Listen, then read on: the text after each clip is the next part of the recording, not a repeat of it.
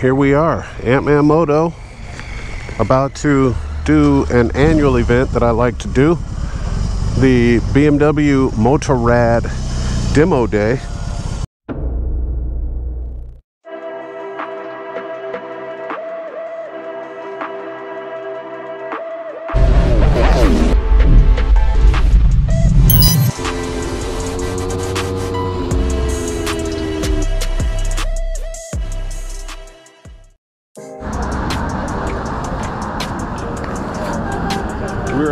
BMW Motorrad Riders event, and the Ant-Man Moto. We're at the BMW event.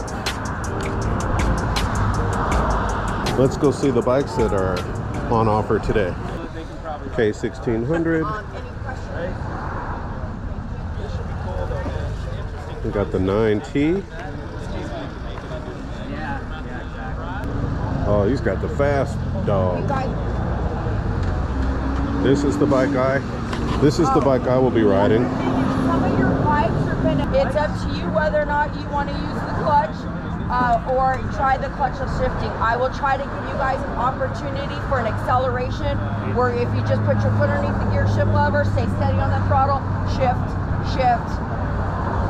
If you're not comfortable, use clutch. You heard that? Some of them have quick shifters. I'll be riding the Cuban Rider bike.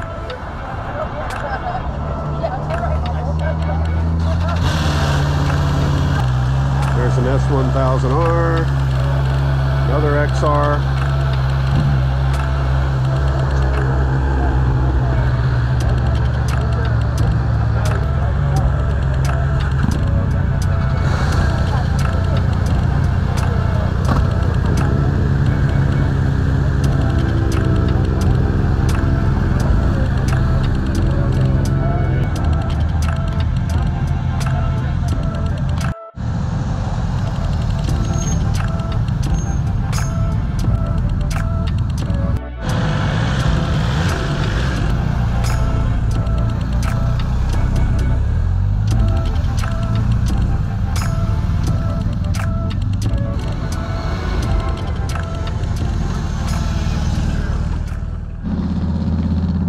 Got a friend here.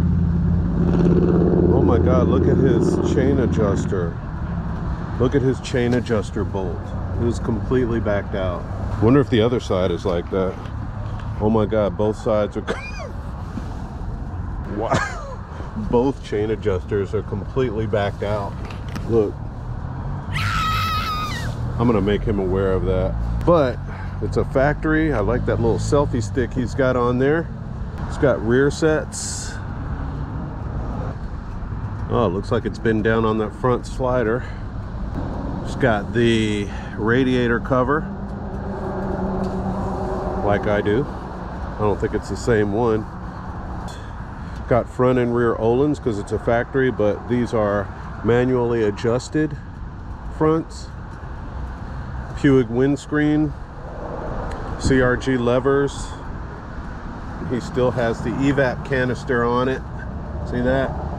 Mine's off. The reason you pull that off is because it keeps the tank from swelling.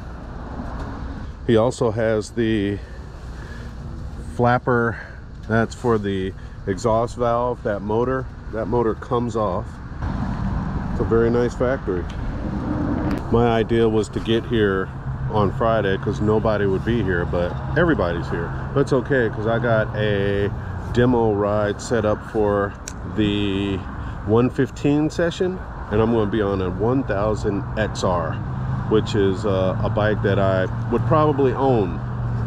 I just wanted to get on anything really. I'll be on the 1245 session. So that's coming up in about I want to say an hour? About an hour. So we'll see you then best behavior. So that means no stoppies, wheelies, burnouts. Um, if you can, keep the as tight as you can be, but give yourself enough room to maneuver within the lane. all right here we are ant-man moto about to do an annual event that i like to do the bmw motorrad demo day and this year Last year we were on the R1200. We were on that bike last year, the R1250 or 1250 RT. This year we're on this S1000.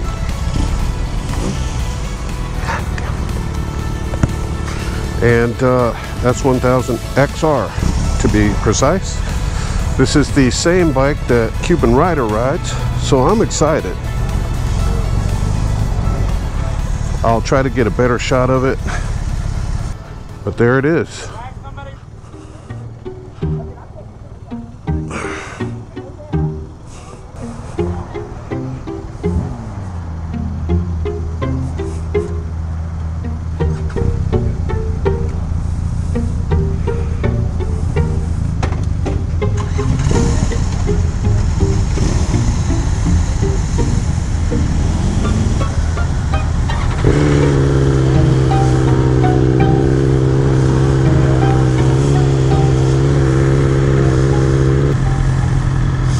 All right, we got her fired up. Took a minute to figure out how the hell to start this thing. You push the power button on and then you hit the starter button. Um, what mode are we in? I can't even see. Oh, Dynamic Pro, good. This thing has hill assist, so when you're you're on a hill, it holds itself in place. That's pretty cool. I'm not touching any front or rear brake. The hill is tilted up towards fast signs and uh, the bike is is just stuck in place. It's holding itself. Uh-oh. Don't be a new rider dude. You can do it.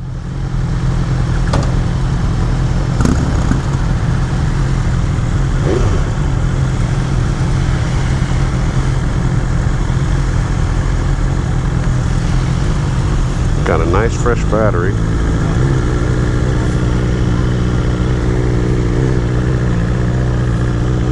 a little bit chaotic.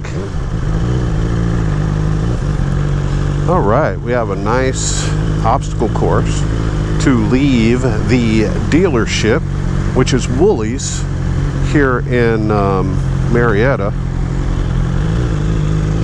My buddy Tony works here. He rides an Aprilia Tuono, former coach of, uh, I don't know, some track organization out west out in California. He used to be a coach and uh, he's a pretty fast rider.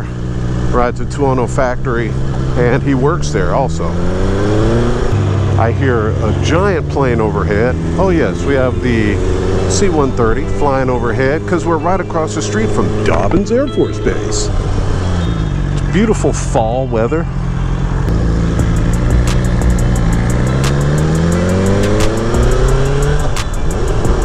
Gosh, I'm right behind the instructor, so my behavior is going to be very uh, subdued. All right, well, I can feel already how this bike would be a blast at the Dragon.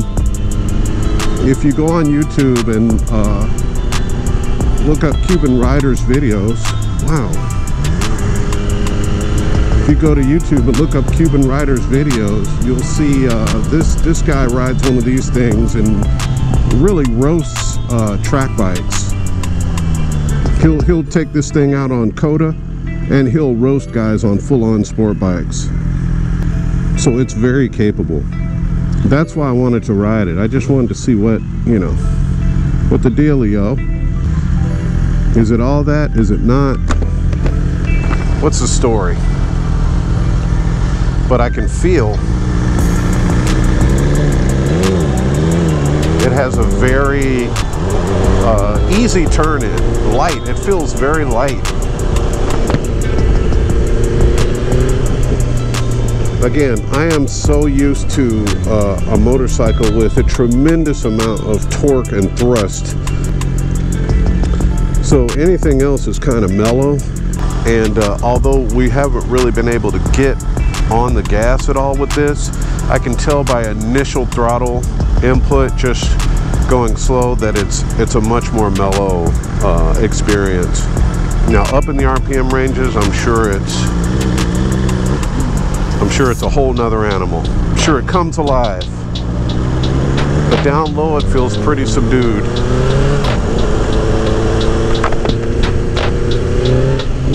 See, just doing that.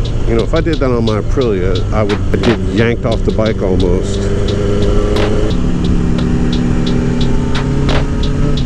Oh man, I love the way this bike feels though. Gosh. Like I feel like I could just go to town on this thing. I love it. Dudes. Now wind protection, I can feel the wind hitting my throat. Like this screen is putting the wind perfectly at my neck. I mean like I can feel it right on my Adam's apple. So this screen would either have to go up a little more to provide you with helmet protection or go lower just to keep the air calm, uh, you know, to keep the air clean for your helmet. Boy, oh boy. We are deep today, man. Deep! Oh, I like those little carbon fiber touches in there. This is an M. I think it might be the M model.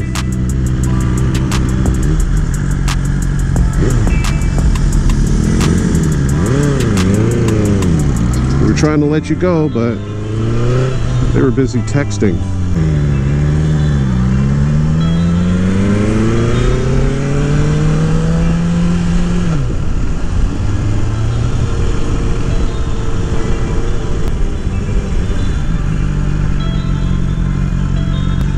What are you doing? That that sound it makes when I go on it, that's the uh, me trying to override the brakes. The thing sets the brakes.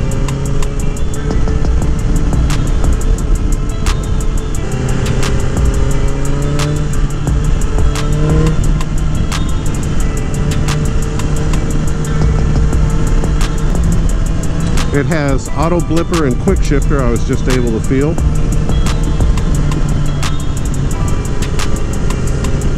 Vibrations at the bars are is minimal. Again, we're going pretty slow, so but it, it feels like you're riding an inline four. The brakes are excellent. Front brakes, they're, they're first of all the lever the lever feels perfect in my hands. I love this brake lever. I love this clutch lever. These are great levers stock. I don't think i would change these at all. The bars are great. I don't think i would mess with the bars either. The turn on this thing the, the way this bike turns feels so good. I remember the rt it felt a little uh, heavy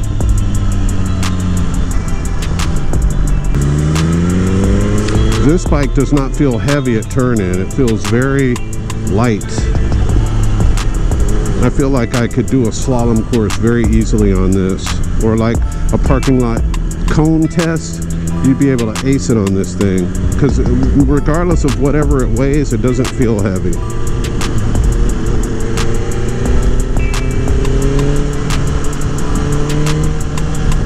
The only thing about this bike is just that it's an inline four. And I like V-twins and V4s and cross-plane cranks, even though I've never owned one, but I just like a, I like a motor with character. And inline fours don't typically give you that yes feeling. But I'm in love with this handling. I love the way it feels. I'd love to take this up to the mountains. That would be fun to ride this up uh, Wolf Pen. This is the exact same route we took last year. Exact same. I'm just going to do this one ride because, I mean, you're really not able to, to ride ride these bikes the right way when you're just when you're doing this. I'm spoiled by the IMS show that happened last year when they they would let us just take I mean I remember I went to the Harley tent and I thought it was going to be this setup. It was the first uh, the first bike I rode was a Harley the uh, that new Pan American. And uh, I hopped on that thing and they said okay we'll see you I'll see you shortly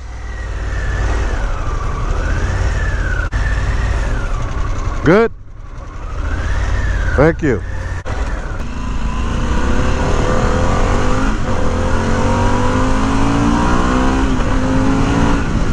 Woo! And, and I went, what? Because the bike before that I had ridden was a zero, I think. And you know, it was like this. You're in a group and you know, they monitored everything.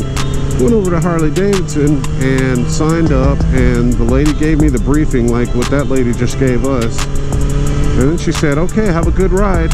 You know the route, right? I was like, uh, yeah. She said, okay, well, have a good ride. You know, once you do that, this just feels kind of ridiculous. but I'm not complaining. I'm just making an observation. I'm thanking God I'm able to do this in any capacity. I've kind of taken this philosophy in life of, you know, tomorrow's not promised, so have fun today. I think there's a happy medium between that and just grinding yourself to death. I failed to find that happy medium. Ooh, yeah. Ooh, the bar placement on this bike, the level, the height, the bend, the sweep is perfect for me. Perfect. I absolutely love the way this bike feels. Want to go to Daytona Bike Week? You could ride this down there. You don't need no stinking trailer. This feels like a cop bike. Just put some lights on it.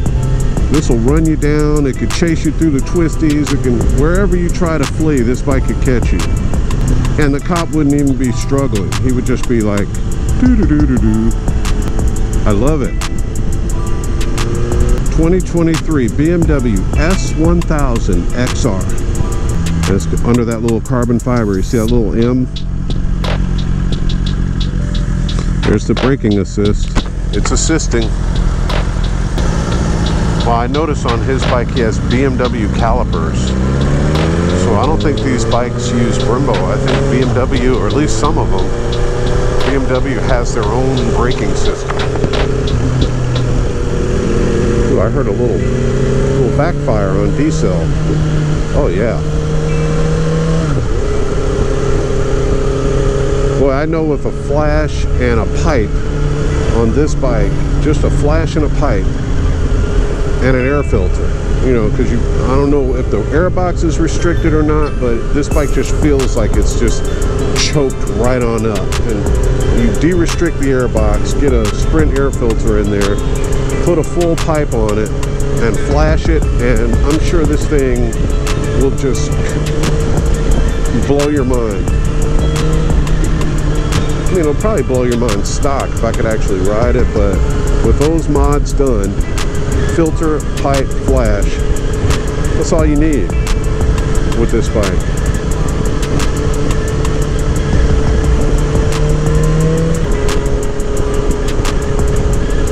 Don't know why they say no wheelies. There's no opportunity to do a wheelie on this route.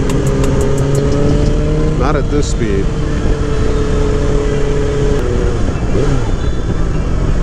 I was going to say I've never owned a BMW in my life, but I take that back. When I was in the army, I was stationed in Wiesbaden, Germany for five years back in the 80s and early 90s. While I was there, I don't know if it was my first car or my second car, but one of my first cars I purchased while I was over there was a BMW 500 series. The mark rate was real good to the dollar. That's back when there was Dutch marks it wasn't the euro. Germany had its own money, the Dutch mark. And when I got to Germany, it had just come down from like an all-time high of like four marks to the dollar. So for every one dollar, you would get like four German dollars. Now it's like one to one. But then it was like you could afford a $10,000 car and would only cost you like three grand. So guys were buying these like elaborate vehicles over there, you know, like like really nice 7 Series BMWs that would normally cost you 20 grand and they were paying, you know, 6500 for them. So that's what I did. My first BMW was like, I think I paid like $2,500 for it. It was like an $8,000 car back then. So I did own a BMW for that short period of time in my life. And I don't know what I did with it. I drove the hell out of it on the Autobahn and, you know, on the auto on the freeway there, you can go as fast as your car can go. So wide open, that car was pretty fast. I think I had it up to like 140 mile an hour before, but it was up there. It was fast.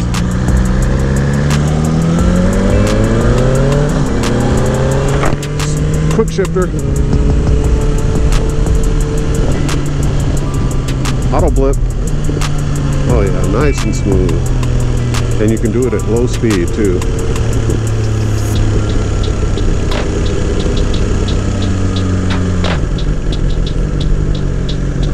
Okay, we're going to use this braking assist thing now. It doesn't engage while you're moving. But look, I'm in neutral. And now it's on. See? I'm not touching the brakes with my hands or my feet.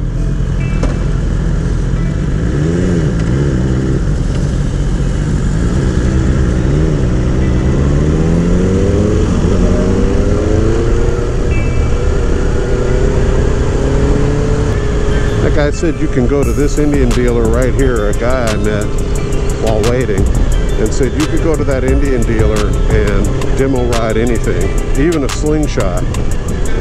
They were one of the manufacturers that were at that International Motorcycle Show last year. And I got to ride the Indian 1200 uh, R, 1200R, I think it was. I didn't know a lot about it back then. Now I realize they race them in the Super Hooligan race. And so I would have I would have probably reviewed it a little less harshly, but the bike that I got to ride, it was just really like the front end felt floppy and weird and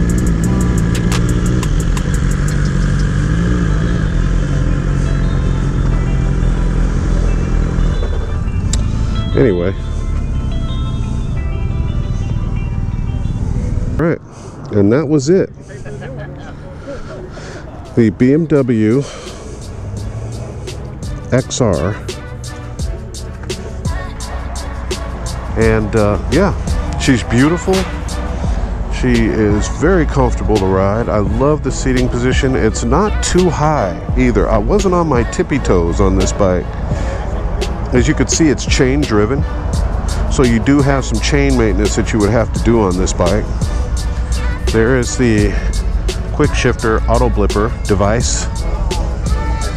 I love how it has running lights down here. So if you get caught out after dark on a B road somewhere on a gravel road, you've got lights on there to assist you. Um, it has a center stand, so if you need to do some sort of chain maintenance or change a tire out there, it's got its own center stand. Uh, plenty of luggage in the back, obviously, and room for a top case here or something else. Um, I like the way it sounded too. It, it, as you can see, it comes with an Akrapovic exhaust. It is a slip-on because you can see the catalytic converter under there, but it sounded really good. I liked the stock sound of this bike. Um, I was very pleased with it. So yeah, Ant-Man Moto, demo riding bikes. I don't know if I'm gonna stay and do any more